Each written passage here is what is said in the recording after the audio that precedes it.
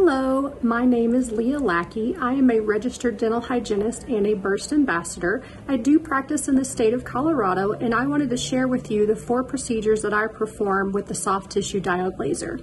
There's laser bacterial reduction, also known as LBR. There's laser assisted periodontal therapy, known as LAPT. I also use the laser for the treatment of aphthous ulcers and to desensitize teeth. LBR the laser can be used at the beginning of the appointment to reduce bacteria in the pocket before we can cause bleeding upon probing or during instrumentation.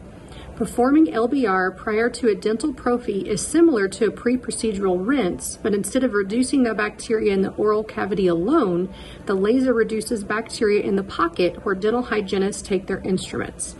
The laser helps lower the microbial count in aerosols that we release while using the ultrasonic scaler it can reduce or eliminate the risk of a bacteremia and can help prevent cross contamination with probes and scalers.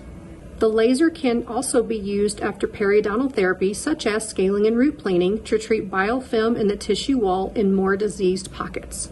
The laser's energy interacts strongly with diseased tissue and less strongly with healthy tissue. Remember to always use the high speed evacuation near the working area when performing LAPT. If the laser is used properly, it will only be attracted to and interact with dark pigmented bacteria. It will not affect the healthy pink tissue.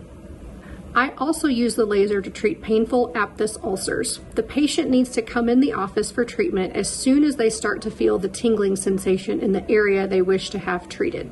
The laser can also be used to desensitize teeth. A thin layer of fluoride varnish can be applied to the sensitive area, then use the laser to perform biostimulation therapy. This occludes the varnish into the dentinal tubules to reduce dentinal sensitivity.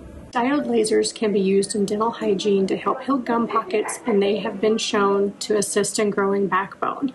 Incorporation of dental lasers into your practice will increase quality of treatment, offering clinical and patient benefits with an added value to the dental hygiene profession. If your state allows you to use a laser, I highly recommend taking a laser certification class and incorporating them in your practice.